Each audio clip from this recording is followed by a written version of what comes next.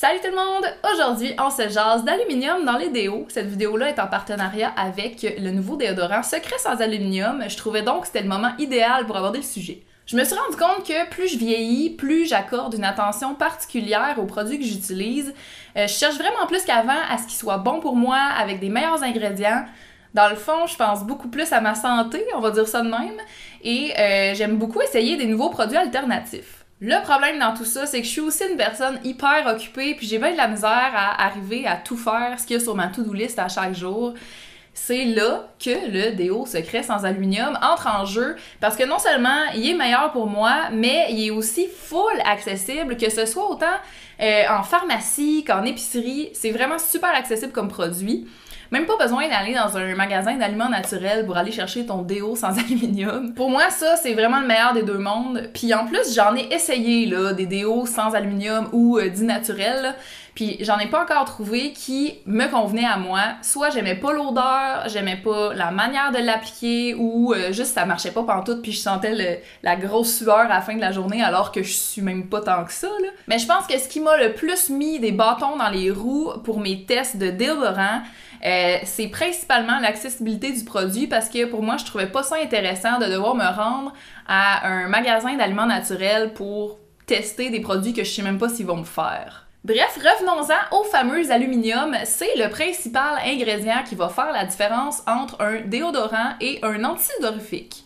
Les sels d'aluminium, c'est cet ingrédient-là qui va pénétrer dans la glande sudoripare puis qui va bloquer la transpiration complètement. C'est vraiment formidable quand t'en as besoin, quand tu vas genre faire du sport ou que t'as, euh, je sais pas, une réunion stressante au bureau. Mais est-ce que c'est toujours nécessaire? En fait, ce que j'ai appris, c'est qu'environ 30% des femmes vont même pas avoir besoin d'un antisudorifique parce que juste naturellement comme ça, elles ne suent pas Lucky You.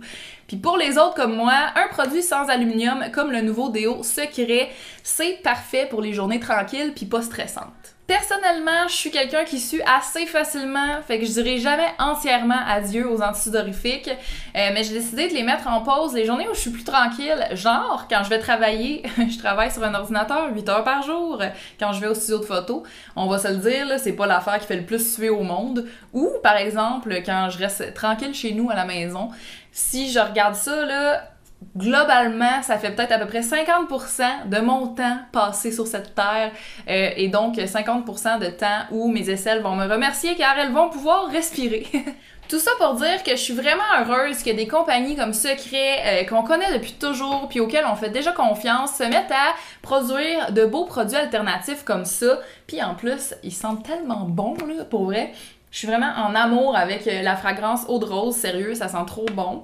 En plus, leur déodorant laisse pas de traces blanches, ni de résidus, ni de sensations humides. Puis ça, pour moi, c'est un gros win. J'ai même fait le test dans ma story Instagram et euh, je vais vous mettre ça ici tout de suite après, pour ceux qui ont manqué ça. Je sais pas si vous aviez vu mon annonce de collaboration avec les nouveaux déodorants secrets sans aluminium, mais aujourd'hui, ça se poursuit en stories. On va faire un test pour vous démontrer à quel point ça laisse pas de traces blanches sur le linge, ni de résidus, ni de sensations humides.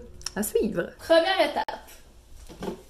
Vous allez voir à quel point c'est transparent.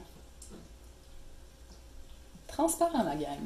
Deuxième étape, le test du chandail noir. Ça, c'est une très grande preuve d'efficacité. Vous allez voir. Il a rien dessus! La troisième étape, c'est le test d'humidité. Puis là, je vais en remettre un peu pour la cause. Vous allez voir à quel point ça reste sec.